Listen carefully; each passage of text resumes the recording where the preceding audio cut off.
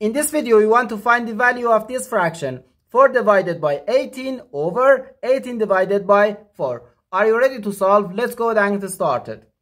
Instead of this fraction, we can write 4 parentheses 4 divided by 18 divided by parentheses 18 over, uh, divided by 4. The numerator divided by denominator. Okay, in this expression we have two parentheses and one division. Okay, according to the order of operations, first we have to do parentheses, then exponent, then multiplication or division, and finally addition or subtraction. Remember that multiplication and division have equal priority and we have to work from left to right. And the same applies to addition and subtraction.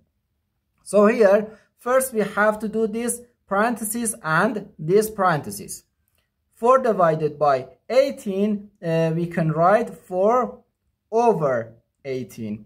And divided by 18 divided by 4 or 18 over 4. Now, this fraction divided by this fraction. Okay? Let's uh, simplify this fraction. 4 uh, divided by 2 gives us 2 and 18 divided by 2 gives us 9. Here we have 18 over 4. 18 divided by 2 gives us 9 and 4 divided by 2 gives us 2.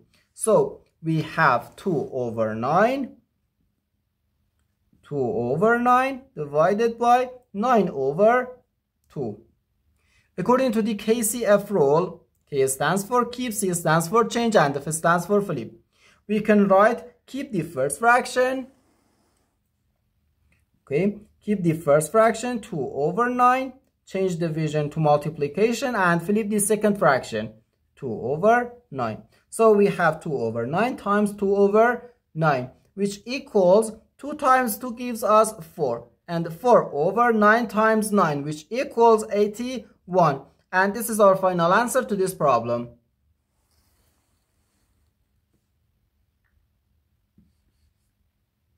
The answer is 4 over 81.